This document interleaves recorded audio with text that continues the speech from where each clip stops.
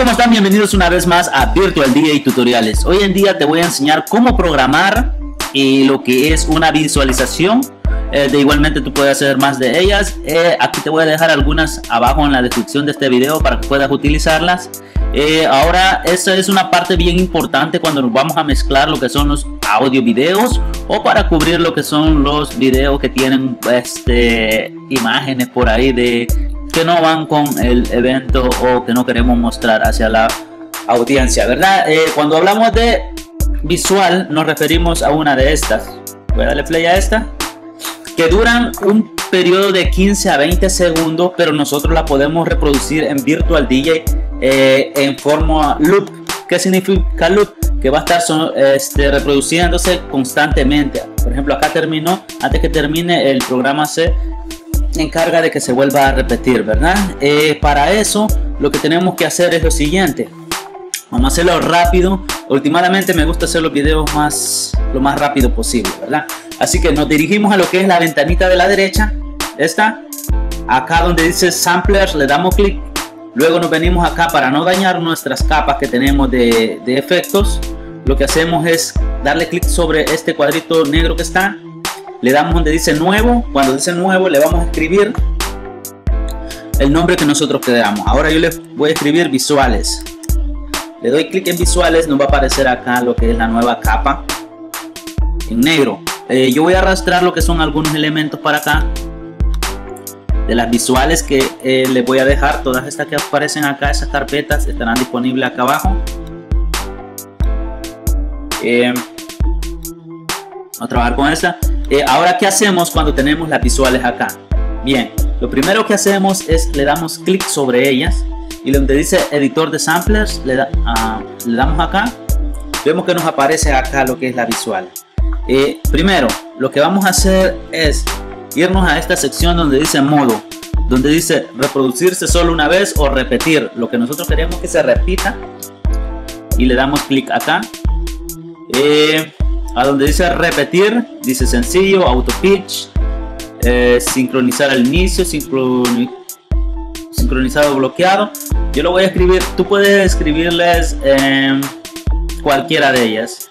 De esa forma se va a repetir, eh, tú vas a tener tiempo para decidir cuál opción te conviene. No cuesta nada, hazle clic en cada uno de ellos y vuelve a hacer el mismo proceso. Yo lo voy a dejar en esta parte de acá.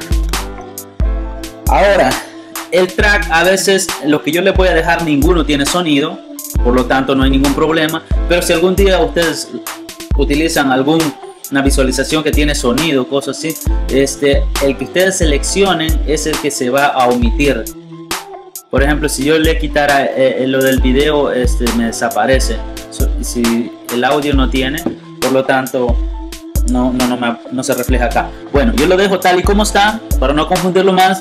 Antes de salirme de acá, quiero decirle que ustedes pueden darle guardar.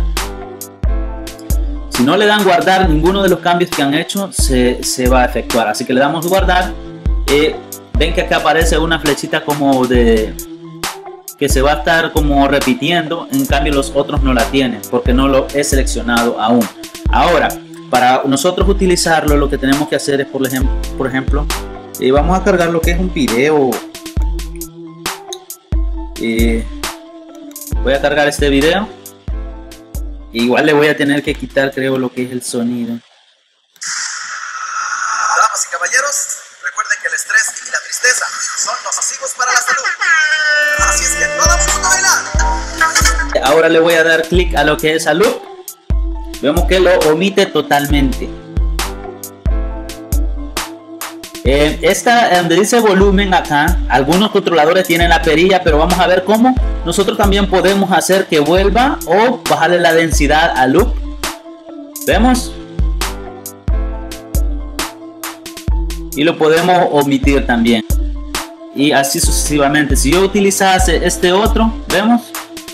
Igual lo están funcionando los dos. Este se me va a terminar en el porque tiene un periodo de tiempo. El segundo no tiene, el otro va a estar funcionando, pero igual nosotros podemos quitar uno y dejarlo de tal forma, ¿verdad? Eh, bueno, eso sería prácticamente lo que le quería mostrar. Eh, hay otras cositas más, por ejemplo, eh, voy a tener que volver a este. que quiero mostrarles. Por algunas visualizaciones se puede hacer, otras no. Vamos a editor otra vez. Voy a quitar esto. Lo que les quiero decir es que, por ejemplo, en nuestro Virtual DJ tiene, por ejemplo, lo que es esta, estas funciones acá, donde es la ganancia, pues nosotros podemos alterar lo que es este, la tonalidad o el volumen de nuestro loop si estamos reproduciendo, por ejemplo, lo que serían los samplers. Los samplers de audio sirve mucho la ganancia para nosotros a nivelar lo que son. Eh, a veces tenemos una